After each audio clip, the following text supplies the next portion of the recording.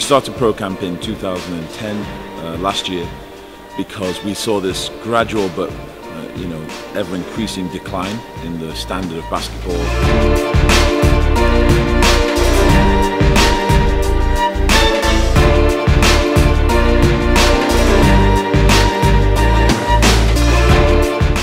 Pro Camp is not a babysitting service.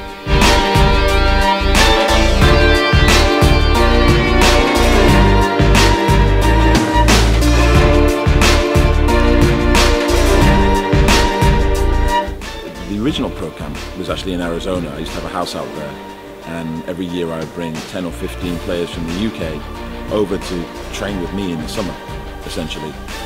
So this is just the same thing brought to England. Obviously can't bring the weather, but apart from that, it's it's all the same levels of conditioning, the SAQ, speed agility stuff, uh, the fundamentals, passing, shooting basic shots with right with the right skills. And we just wanted to bring back that. The fundamentals, the basics, making sure that the baseline for all the kids, or at least the top kids that we've got, were in place. So we just could set a new standard.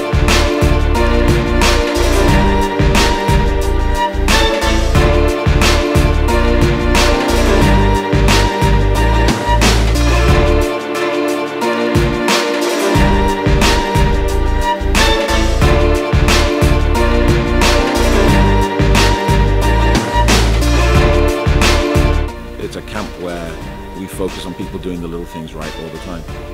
Um, process, not product. So running the plays in the right way, setting screens in the right way, shooting the ball in the right way, and not worrying about how glamorous things are.